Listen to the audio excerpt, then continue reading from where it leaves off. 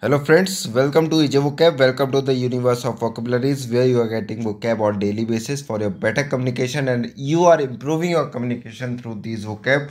You can bat right now तो friends चलिए start करते हैं। आज का वर्ड क्या है? आज का वर्ड है गुलामी, यानी होता है स्लेवरी गुलामी को इंग्लिश में कहते हैं स्लेवरी ये एक नाउन है। The state of being slave यानी गुलाम होने का जो स्टेट होता है, जब हम गुलामी में रहते हैं डेट इज़ कॉल्ड स्लेवरी इसका एग्ज़ाम्पल देखते हैं। मीनिंग क्लियर होगी? They're living in slavery and poverty वो किसमें रह रहे थे?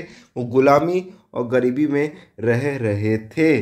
सेकेंड एग्ज़ाम्पल है my country people had survived four hundred years of slavery मेरे जो देश के लोग हैं, उन्होंने क्या सर्वाइव किया है? 400 साल गुलामी के उन्होंने सर्वाइव किए थे। थर्ड एग्ज़ाम्पल है a country is free from slavery now हमारी जो कंट्री है, हमारा जो देश है, अब वो फ्री है। किससे फ्री है? गुलामी से फ्री है। तो फ्रेंड्स आज का ये वर्ड था स्लेवरी यानी गुलामी। अब मैं आपसे मिलूँगा नए वीडियो में, नए वर्ड के साथ। तब तक के लिए अपना ध्यान रखो। Bye take care and all the very best my friends